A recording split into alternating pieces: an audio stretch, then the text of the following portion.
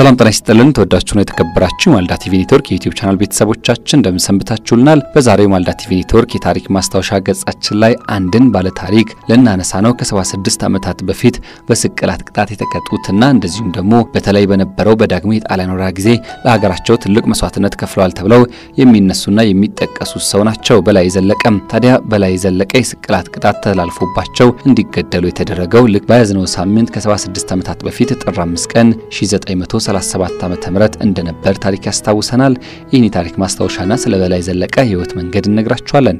እንድትከታተሉን ግብዣችን ነው። ቲቪ ኔትወርክ ዩቲዩብ ቻናላችንን like፣ subscribe በማድረግ ወዳጅ ቤተሰብ ይሆናችሁ ትኩስ አዳዲስ ወቅታዊ መረጃዎችን ከአሁናዊነት መለስ ብለን ከወደኋላ የምነግራችሁን የታሪክ ማስታወሻዎቻችን እንድትካፈሉ ግብዣችን ነው። አብራችሁን ቆዩ።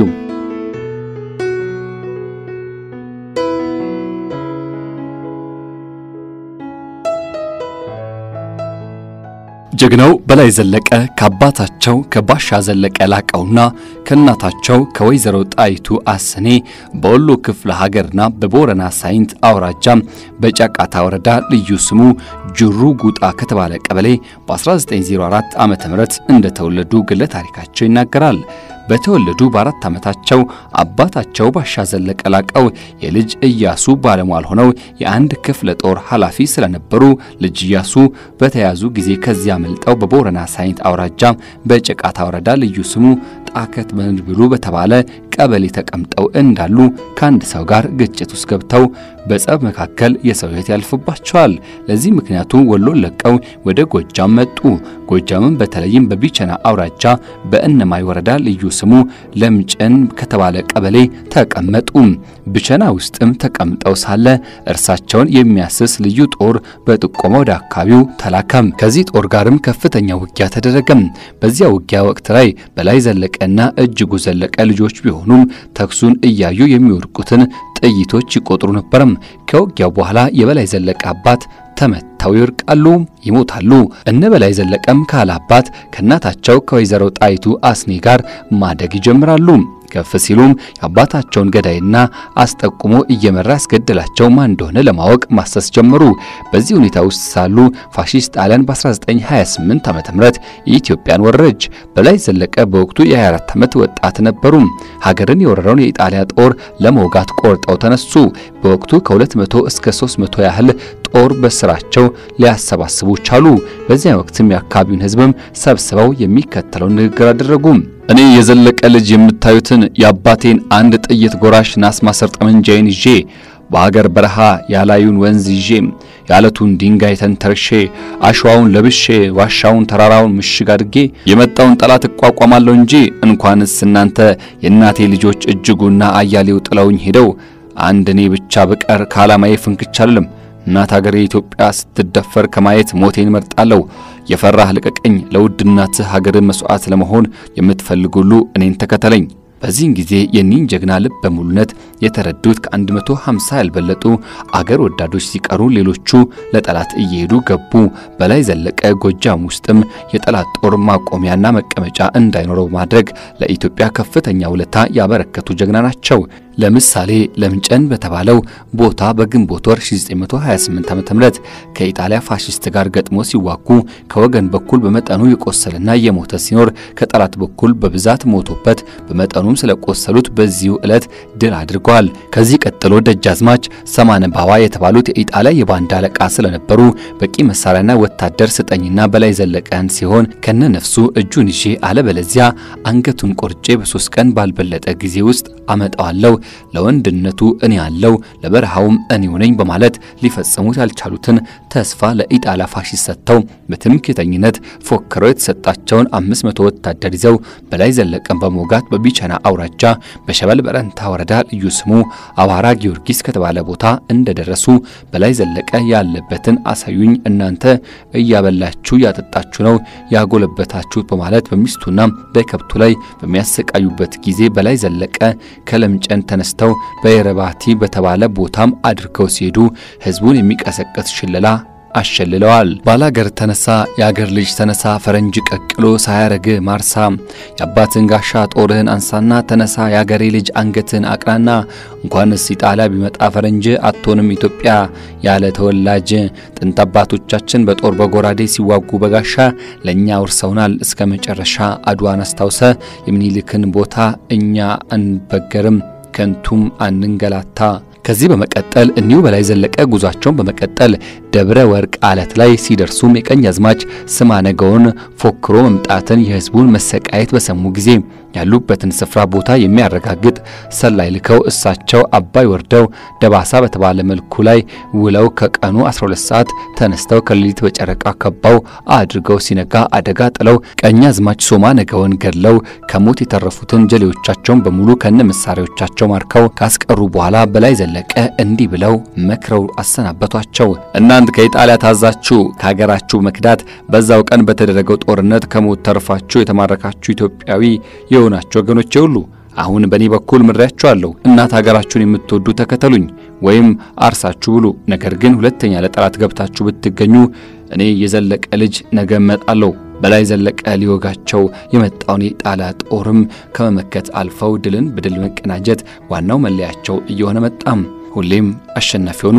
የኢጣሊያ ጦር ሁሌም እየተሸነፈ በመሄዱ ተስፋ በመቁረጥ የበላይ ዘለቀን ባለቤት ወይዘሮ ሽመኪት አለማየሁና የባለቤታቸውን እህት ወይዘሮ ዘውዲቱን አለማየሁን ገሎ ልጃቸው ወይዘሪት የሻሽ ወርቅ በላይን ማርኮ ሄደም። ከዚህ በኋላ የበላይ ዘለቀ እልምም እያየለ በመምጣት ብዙ ባንዳዎችና የጣሊያን ወታደሮችን ድል አደረጉ።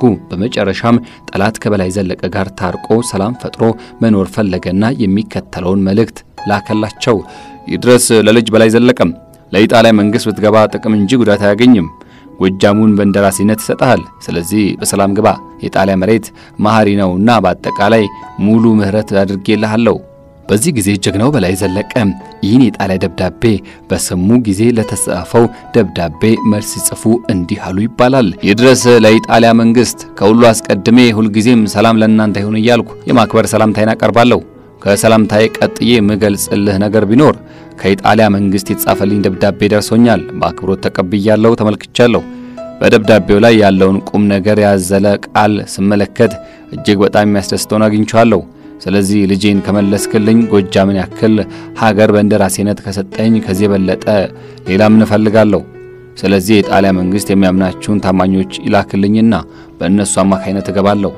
በዚህን ጊዜ የጣሊያ መንግሥት የበላይ ዘለቀን ደብዳቤ እንደደረሰው ሲመለከተው አስደሳች ሆኖ ስላገኘው በላይ ዘለቀን በእርቅ አታሎ በእጁ ለማስገባት የዘወትር ምኞቱ ስለነበር በጉጉት ይጠብቀው የነበረው ሐሳብ የተሳካ መስሎት የራሱ የፍርድ ቤት ዳኞች ሆነው በታማኝነት ሲያገለግሉ የነበሩ በኢትዮጵያዊነት ወገናቸው በአርበኛ ላይ ይሰቀል ይገረፍ እያሉ ሲፈርዱና አርበኛ ያለበትን ቦታ ሲጠቁሙና መርተው በማሳየትም ይረዱት የነበሩትን ታማኞቹን እነ ቀኛዝማች እጅጉ ለማንና እንደዚሁም ቀኛዝማች አደራ የተባሉትን ከነስተርጓሚዎች ጭምር ሆነው በላይ ዘለቀን በእርቅ አታለውና አባብለው በእጅ እንዲያስገቡላቸው ላኳቸው።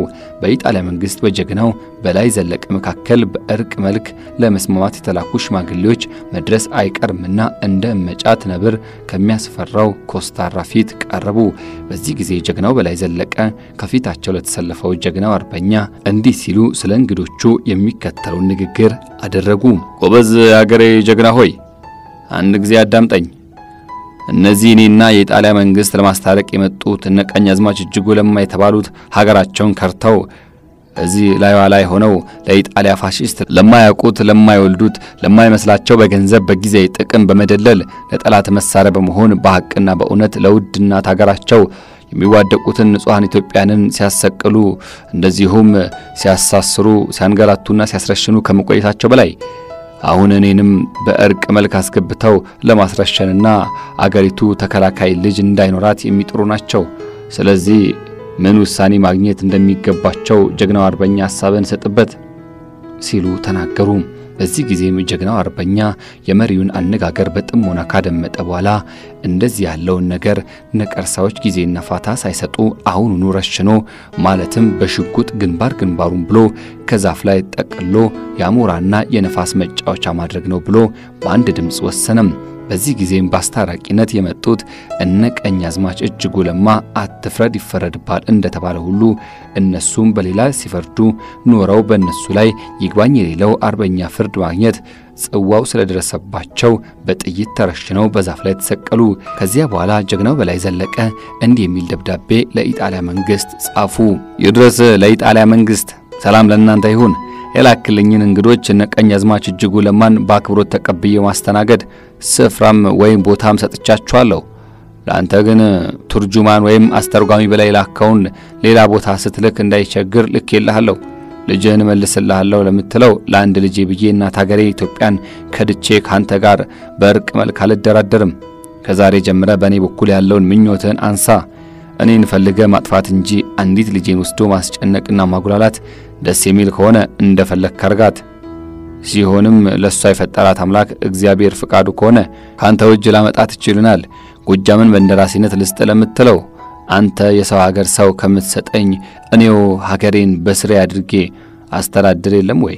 ስለዚህ የፖለቲካ ወሬህን በምትነዛው የኢትዮጵያን አርበኛ እየቆማመጠ ለአሞራ መስጠት በየዱር ገደሉ ወድቀ ከመቅረት በመጣብ መንገድ አገር ከመግባት በስተቀር አማራጭ የሌለ መሆንን በዚህ አጋጣሚ ልነግር እወዳለሁ። በመጨረሻም የተማረከችው ልጃቸውን የሻሽ ወርቅን እንደገና ተዋግተው ከኢጣሊያኖች እጅም ከነ ሕይወቷ ለመማረክ ችለዋል። በአጠቃላይ በላይ ዘለቀም በአምስቱ ዓመታት የነጻነት ተጋድሎ ውስጥም ከፊት የሚሰለፉ ታላቅ አርበኛ ናቸው። ታዲያ የመጨረሻ የሆነው የሕይወት ፍጻሜያቸው ደግሞ ከወንድማቸው ከእጅጉ ዘለቀ ጋር በስቅላት እንዲቀጡ ያደረገ ሆኗል። ታሪክ እንደሚያስታውሰን ከሆነም እኚህ ብርቱ ጀግናና አርበኛ የነበሩት ጣሊያንን በ1928 ዓ.ም በነበረው የዳግሙ የጣሊያን ወረራ ጊዜ ለጣሊያን የእግር እሳት ሆነው የፈተኑት ጀግና የስቅላት ቅጣት ተፈርዶባቸው የነበረው ከ76 ዓመታት በፊት ጥር 5 ቀን 1937 ዓ.ም በዳግማዊ ቀዳማዊ ኃይለ ሥላሴ ዘመነ መንግስት እንደነበር ይታወሳል። የስቅላት መንስያቸው ደግሞ ከንጉሠ ነገሥቱ ጋር መግባባት አለመቻላቸው እንደነበር ታሪክ ያስታውሰዋል። ውድ የማለዳ ቲቪ ኔትወርክ የዩቲዩብ ቻናል ቤተሰቦቻችን ለዛሬ ለእናንተ ያጋራ ነው የታሪክ ማስታወሻችን የተከታተላችሁትን ይመስል ነበር። አብራችሁን ስለነበራችሁ እጅግ በጣም ከልብ እናመሰግናለን። ማለዳ ቲቪ ኔትወርክ ዩቲዩብ ቻናላችንን like፣ subscribe በማድረግ ወዳጅ ቤተሰብ እንድትሆኑ ትኩስ አዳዲስ ወቅታዊ መረጃዎችን ከአሁናዊነት መለስ ብለን ከወደኋላ የምነግራችሁን የታሪክ ማስታወሻዎቻችን እንድትካፈሉ ግብዣችን ነው። መልካም ጊዜ፣ ሰላም ሁኑልን።